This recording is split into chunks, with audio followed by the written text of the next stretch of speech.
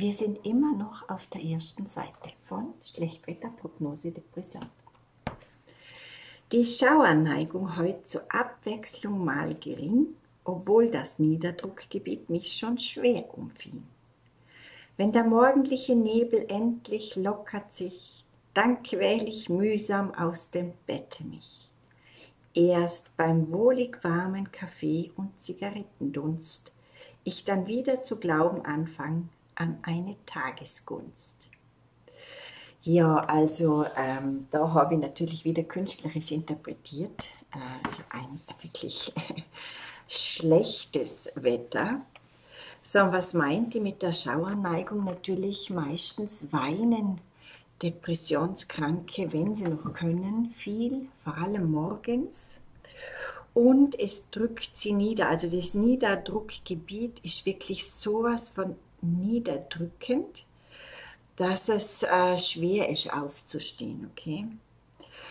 Irgendwann dieser Gedankennebel oder dieses Betäubtsein oder das, ähm, ja, der Tag hat begonnen ähm, und man wird klarer und wacher und äh, man wird sich bewusst, man muss aufstehen. Dann lockert sich also dieser Nebel und man quält sich wirklich mühsam aus dem Bett. Viele Depressionskranke treten die Flucht der Welt mit dem Schlafen und im Bett liegen und mit der Untätigkeit an. Also es ist eine Flucht aus dem aktuellen Zustand, der sie so niederdrückt. Erst beim wohlig warmen Kaffee und Zigarettendunst, ja ganz viele natürlich sind Süchten verfallen, egal ob es jetzt Zigaretten sind, ob es äh, am Abend der Alkohol oder dann über den Tag verteilt schon der Alkohol ist. Und ich nehme mir das Blatt nicht, äh, ich nehme mir das Blatt vom Mund, so muss ich sagen, auch von den Medikamenten. Wobei sie nicht verteufle bitte. Es gibt Punkte in so einer Talsohle, da braucht es diese Medikamente, damit der Mensch nicht in seinem, ich sage jetzt, Wahn ähm, sich zuletzt selbst verletzt oder das Leben wegwirft. Ähm, und dann glaubt man wieder so langsam, wenn der Nebel sich gelockert hat, an diesen Tag der da kommen mag. So, und jetzt möchte ich ganz kurz spirituell was einwerfen. Dieser Zustand, in dem man ist, ist ähm, sowas wie ein Denkfehler. Man befindet sich in der Identifikation von etwas, was nicht mehr ist. Etwas in der Vergangenheit liegendes.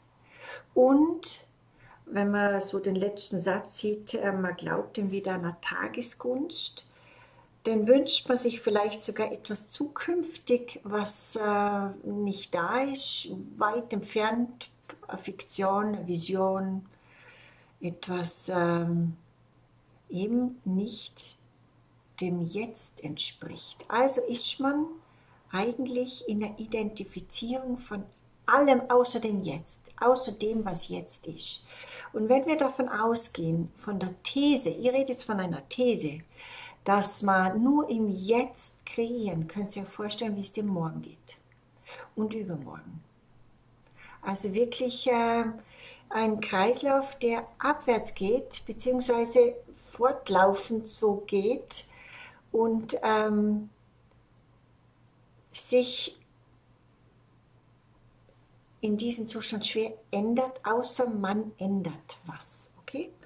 Also gut, das war sehr schwierig zum jetzt, äh, aus, weil ich sage das alles aus dem Bauch aus, bitte Ich schreibe keine Skripten, ich tue mich nicht vorbereiten, sondern das kommt echt komplett aus dem Herzen, aus dem Bauch raus. Und ähm, das ist das einzig Authentische und Wahre für den Augenblick. So, und bleibt dran, ich erzähle euch noch mehr über dieses Buch, nämlich da gibt es auch etwas, was ich schwer bereue.